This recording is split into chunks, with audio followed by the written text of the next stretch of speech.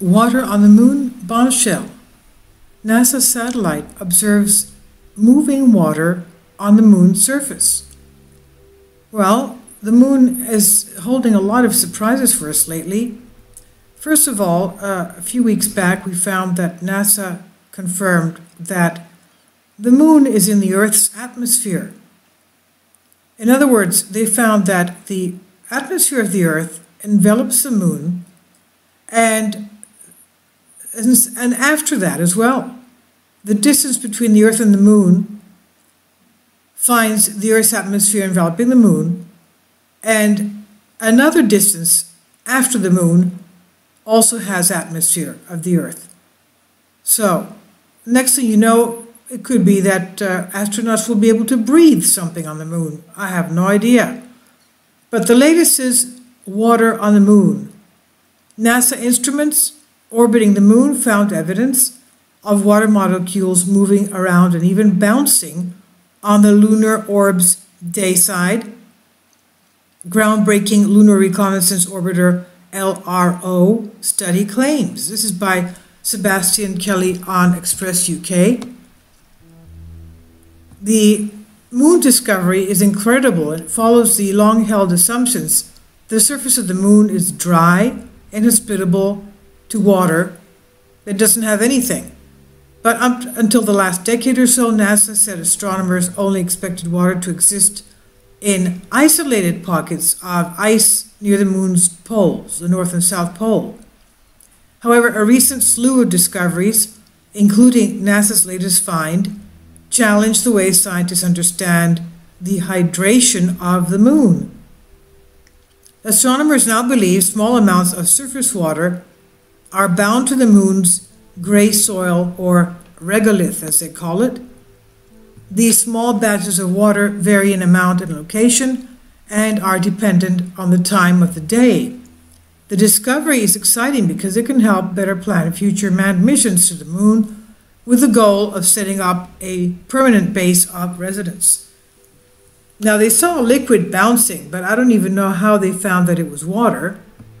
I assume that they have the proper uh, tests that they confirm it's water. Now, Amanda Hendrix, the study's lead author, said these results aid in understanding the lunar water cycle and will ultimately help us learn about accessibility of water that can be used by humans in future missions to the moon.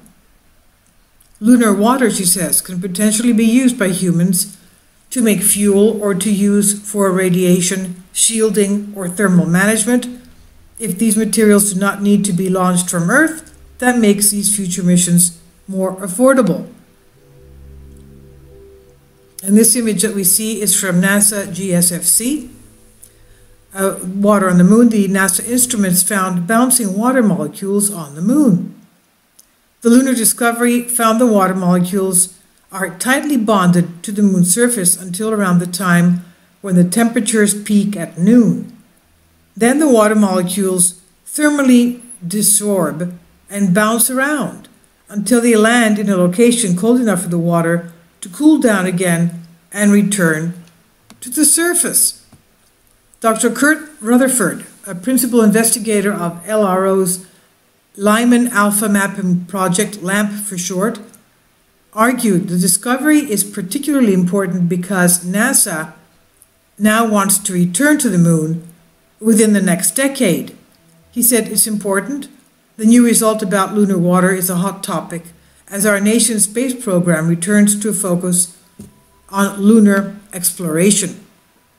He said we certainly converted the lamp's light collection mode to measure reflecting signals on the lunar day side with more precision allowing us to track more accurately where the water is and how much is present. Dr. Michael Poston said, uh, lunar hydration is tricky to measure from orbit due to the complex way that light reflects off of the lunar surface. And Poston is a research scientist for LAMP. He said previous research reported quantities of hopping water molecules that were too large to explain with known physical processes. And he added, I'm excited about these latest results because the amount of water interpreted here is consistent with what lab measurements indicated is possible. And according to NASA, scientists have previously hypothesized ionized hydrogen carried on solar winds from the sun could be the source of the moon's water. Hydrogen carried on the solar winds from the sun. In other words, the sun, with its solar wind, provides the moon with water. This should result in the amount of water on the moon's decreasing every time it passes behind the Earth and is shielded from the sun. But this was not the case. Instead, NASA said water on the moon builds up over time rather than raining down directly from the solar wind. John Keller, who is NASA's deputy project scientist at uh, uh, LRO, said this result is an important step in advancing the water story on the moon and is as a result of years of accumulated data from the LRO mission. Now, when is NASA going back to the moon? Jim Bridenstine, NASA administrator, vowed to send the U.S. space agency back to the moon before the, the end of the next decade. And NASA chief said, We will go to the moon in the next decade with innovative new technologies and systems to explore locations across the lunar surface than ever before. More locations than ever before. He said, This time, when we go to the moon, we will stay. We will use what we learned as we move forward to the moon to take the next giant leap, sending astronauts to Mars. The announcement was after a 6% increase in NASA's annual budget, which totals a staggering $21 billion. Mr. Bridenstine argued the budget will help NASA establish a, sustain, a sustainable exploration campaign with commercial and international partners joining in as well. Uh, there's an embedded video you can uh, see. It's, it's the um, about oh, it's about uh, two minutes. NASA outlines how the moon has traces of a sunburn. Okay, so they see these things jumping around and relanding. Uh, I, they still don't know exactly how the water is there, how got how it gets there. My question still remains: How do they know this is water and it's not, for example, hydrochloric acid or something? or uh, uh, something that's poisonous to humans. And also, is it that could it be that these are the things that we see sometimes shining on the moon's craters? Some people that are uh, amateur astronomers and enjoy looking at the moon, and uh, other images coming to us showing that there are sparkling items in the craters of the moon. Could it be that they are locations of water as well? Fascinating stuff.